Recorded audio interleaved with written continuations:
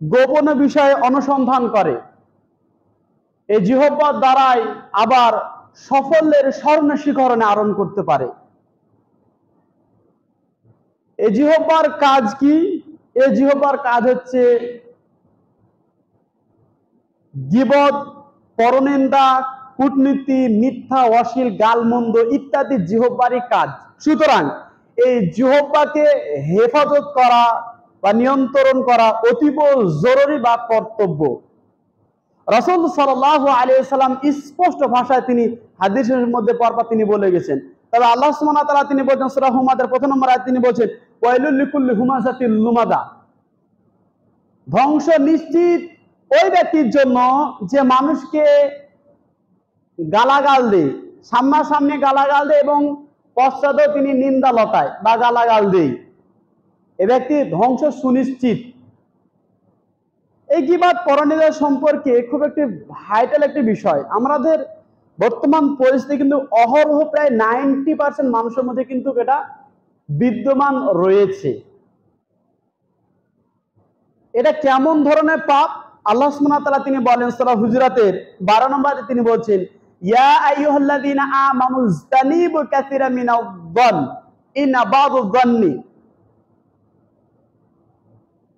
যে হে মুমিনগণ, তোমরা বহুবিধ ধারণা থেকে বিরত থাকো। কারণ কোন কোন ধারণা হচ্ছে পাপ। তাজাসসু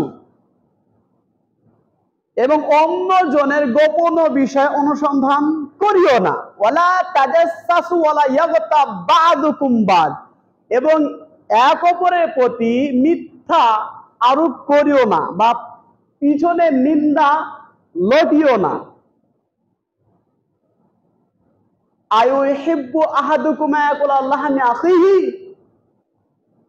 তোমরা কি ভালোবাসো? তোমাদের মৃত্যু ভাইয়ের গোস্ত ভক্ষণ করতে কি ভালোবাসো? তা তোমরা এটা অপছন্দ মনে করো। তাহলে আল্লাহকে ভয় করো। ইন্নাল্লাহ রহিম। নিশ্চয় তিনি ক্ষমাসী নিশ্চয় তিনি তৌবা গ্রহণকারী, অতীব দয়ালু। আল্লাহ সুবহানাহু স্পষ্ট কোরআনের বাক্য, কোরআনের আয়াত দ্বারা বুঝিয়েছেন।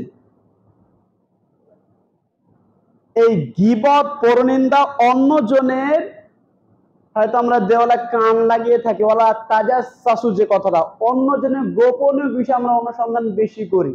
বা অন্যজনের, আমরা অন্যজনের কাছে আমরা নিন্দা লটাতে অভ্যস্ত বা আমরা এটা করে থাকি। এটা কিন্তু আল্লাহ সুবহানাহু তিনি বলেননি। এটা কিন্তু রাসূল সাল্লাম তিনি বলেননি। তিনি স্পষ্ট ভাষা তিনি একদম নিশ্চিত করে তিনি বলছেন ওই লুল্লিকুল্লি হুমাজাতির লুমাজান ধ্বংস সুনিশ্চিত ওই ব্যক্তি যে মানুষকে সামনাসামনি এবং পশ্চাতে গালাগাল দেয় নিন্দা লটায় সে ধ্বংস সুনিশ্চিত। কোরআন আয়াত এদিকে খেয়াল করেন, আমার দিকে খেয়াল করেন। ভালোভাবে বক্তব্য শুনবেন, কেউ ঘুমাবেন না। এটা খুদবা চলছে। যে মুখে, জিহ্বাকে হেফাজত করতে পারবে, তার জন্য জান্নাতের জিম্মেদার নিব, সুপারিশ করব আমি আল্লাহর কাছে। জোরালো সুপারিশ করব। কে বলছে? যিনি আমাদের মডেল যিনি আমাদের নেতা, মোহাম্মদ সাল্লাহ আলাইসাল্লাম তিনি কথা বলেন। মোহাম্মদ সাল্লাম তিনি কথা বলেন। শুধু তাই না আর একটি কথা বলেছে।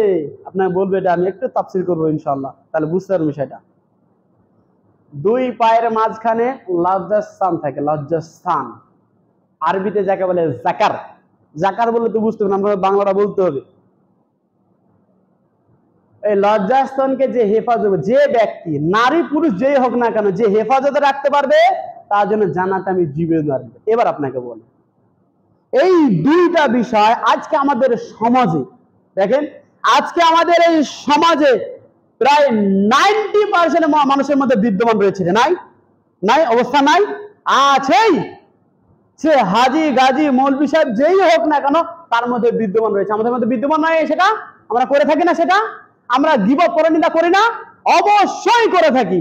আজকে দেখেন মেয়েরা বেশি গিবত করে, নিন্দা করে। হ্যাঁ রি বুবুরি, বাড়িতে যদি কেউ আসে ওকে বুবুরি এরকম একটা ভাষা বলে।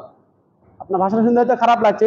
আমরা দিদি বা উখতুন বলতে পারি আরবিতে, সুন্দর মানে বক্তব্যটা ফিলিংস সুন্দর হয়ে বানানোর জন্য এটা আমরা বলতে পারি। কিন্তু এটা বলে থাকে আপনার বোঝানোর জন্য বলছি আমি মনে কিছু নিয়েন না। আপনার পরিবর্তনের জন্য আমি এসেছি ইনশাল্লাহ আল্লাহ আপনাকে হেদায়ত করি এটাই আমি চাই। আমাকে বুঝেন। যদি কোনো মেয়ে আসে বাড়িতে, বুবু, শুনবি, জানিস? একটা জিনিস যদি হয় একটা জিনিস যদি কোনো একটা ঘটে, সেটা এখানে আসবে। আসতে বাড়তে বাড়তে বাড়তে এমন বাড়া বাড়ে যাবে, পুরো বেড়ে যাবে। এটা এর আগে বলেছিলাম আপনাদেরকে। তো পুরুষের মাঝেও তাই। চায়ের দোকানে কিসের জন্য যান? গিবত পরনিন্দা হ্যাঁ জানেন আজকে? আজকে মৌলবি সাহেব এই করেছে। আরে তাই নাকি মৌলবি সাহেব এই বলেছে? শুরু হয়ে গেল যা যেরকম ভাষা। মৌলবি সাহেব তো খুব ভালো বক্তব্য দেয় মৌলবি সাহেব এই কথা এই কাজ করতে পারে? না, এখন করতেও পারে। এই শুরু হয়ে গেল গিবত। গিবত কাকে বলে? হাদিসটা শেষ করছি ইনশাল্লাহ গিবত বিষয়টা কি আগে জানতে হবে।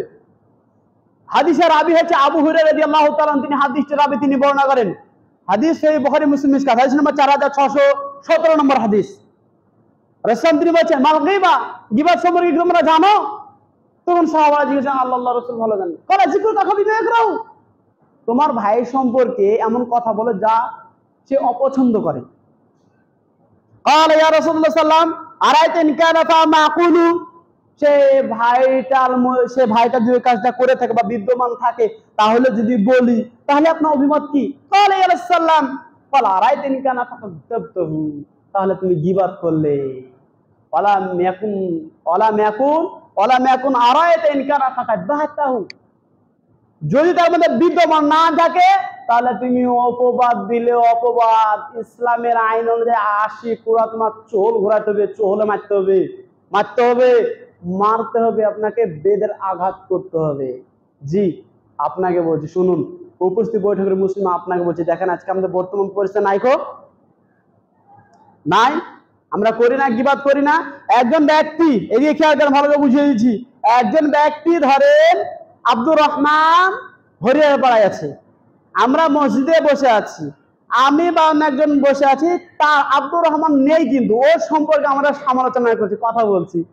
আব্দুর রহমান আয় আব্দুর রহমান এটা যদি করেও থাকে, আব্দুর রহমান যদি মদ খেয়েও থাকে, আব্দুর রহমান যদি গ্যাঁজা খেয়েও থাকে তবুও বলা যাবে না কারণ সে অনুপস্থিত নাই তার সামনে বলতে হবে।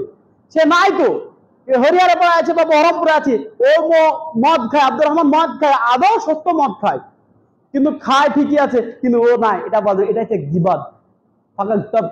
এটাই তিনি বলছেন এটা গিবাদ করলে আর যদি আব্দুর রহমান না খায়, যে আমরা সমালোচনা করি বলে থাকি, আব্দুর রহমান বোধহয় মদ খাইয়েছে আজকে। আজকে বোধ হয় আব্দুল এ বোধ মদ খেয়েছে, ইমরান বোধ মদ খেয়েছে। যদি না খায়, আমরা বলি, তাহলে অপবাদ দেওয়া হলো, অপবাদ দেওয়া হলো। আর আমরা এটাই করি, প্রায় নাইনটি পার্সেন্ট মানুষ এটা করে থাকে। আপনারা সকলেই করি, আমরা করি না, এটা করি না, এই কাজ কিন্তু বর্জন করতে হবে, পরিত্যাগ করতেই হবে। একজন মুসলমানের জন্য জঘন্যতম কাজ, নিকৃষ্টতম কাজ এড়েছে সিরিকের পাপ আল্লাহ ক্ষমা করে বলেছে, কিন্তু এই